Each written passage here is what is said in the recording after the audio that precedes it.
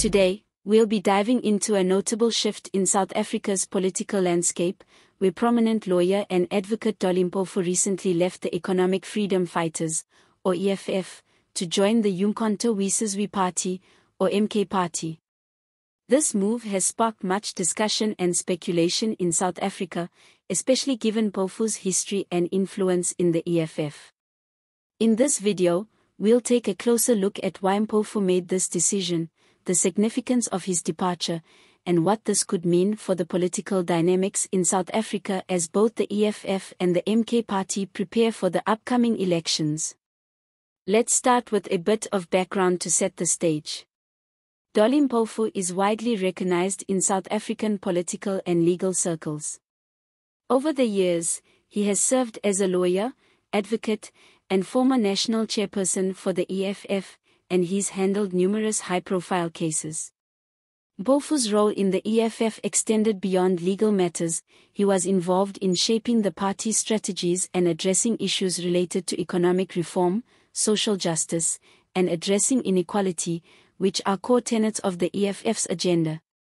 Since its inception in 2013, the EFF, led by Julius Malema, has been known for its bold, often confrontational approach to addressing socio-economic issues, with a focus on land redistribution, nationalization of resources, and uplifting the economically marginalized.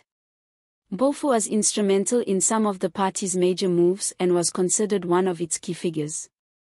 The MK party, which Mpofu has now chosen to join, carries a different history and focus.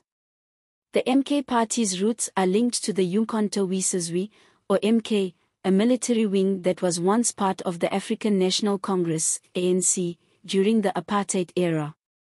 This wing was formed to resist apartheid through armed struggle, and its members included some of South Africa's most respected anti-apartheid fighters.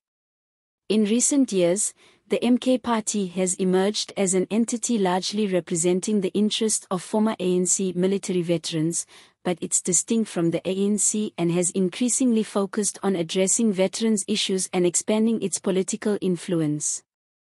Under the leadership of former President Jacob Zuma, the MK party seeks to gain a stronger presence in South Africa's political arena, advocating for a different set of priorities that sometimes contrasts with both the ANC's current policies and the EFF's revolutionary approach.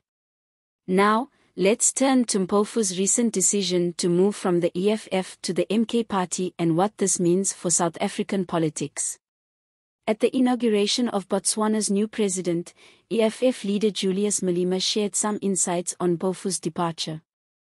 Malema described the decision as mutual and respectful, acknowledging that Mpofu's political beliefs had shifted, and they no longer fully aligned with the EFF's direction.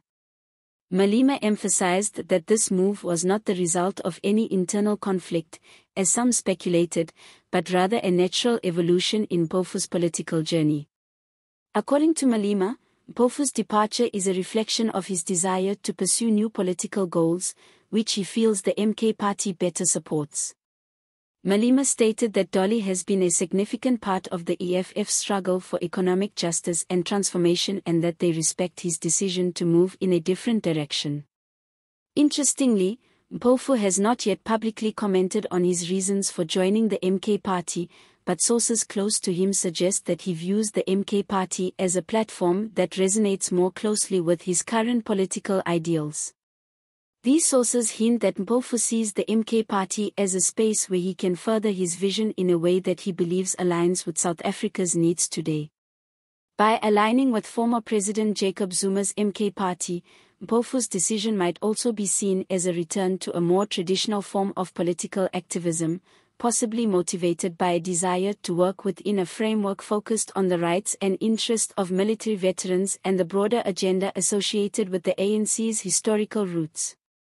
While Malema dismissed any claims of discord or underlying issues within the EFF, Mpofu's departure is a notable shift, and it raises questions about the EFF's own strategies moving forward. It's also worth noting that transitions like these aren't unusual in politics, especially as parties grow and evolve.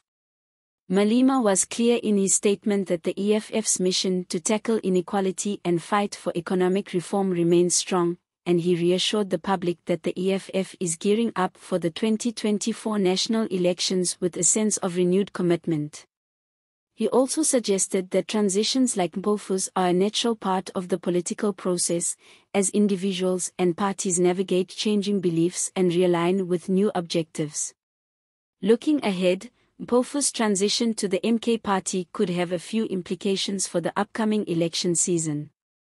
First, the MK party, with its focus on veteran issues and its association with Jacob Zuma, could potentially attract some former ANC supporters and those who resonate with a more traditional, veteran-oriented narrative. Mpofu's reputation and influence may provide the MK party with an added boost, and he might play a significant role in shaping the party's policies or outreach strategies. This could help the MK party gain traction among voters looking for an alternative to both the ANC's current policies and the EFF's more radical approach.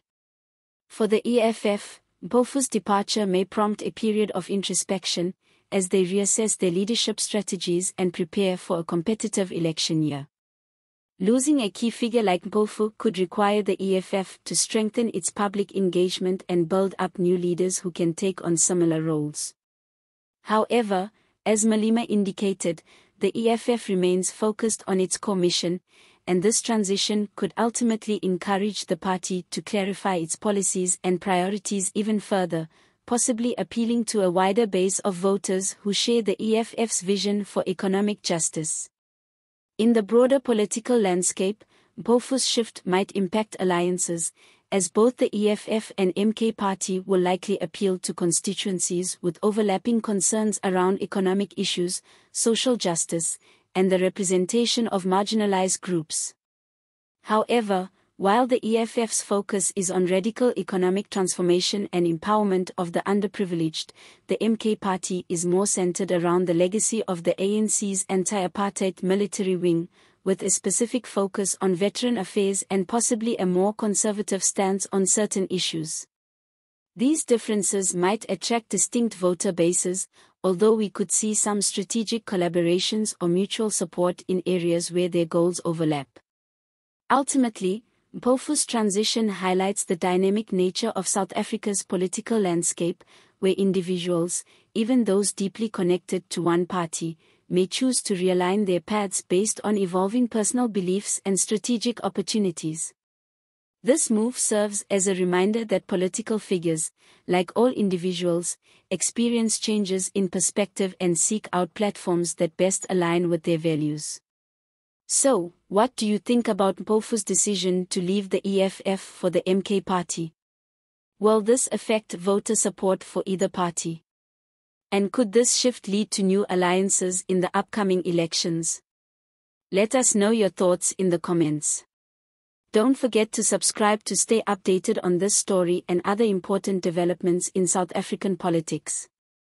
Thanks for watching, and we'll see you in the next video.